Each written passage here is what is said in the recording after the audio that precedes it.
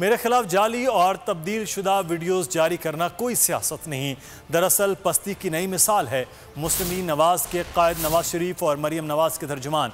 मोहम्मद जुबैर का social media पर गर्दिश करने वाली करने वाली वीडियोस पर रद्दमल ट्विटर पर जारी बयान में कहा, जो कोई भी इसके पीछे है, उसने इंतहाई घटिया और शर्मनाक अमल किया है। मोहम्मद जुबैर का कहना था कि, मैंने ईमानदारी खलूस नीयत और लगन के साथ मुल्क की खिदमत की है और मैं पाकिस्तान की बेहतरी के लिए आवाज़ बुलंद करता रहूँगा। सब्सक्राइब करें और बेल दबाएँ ताकि कोई खबर रह न जाए।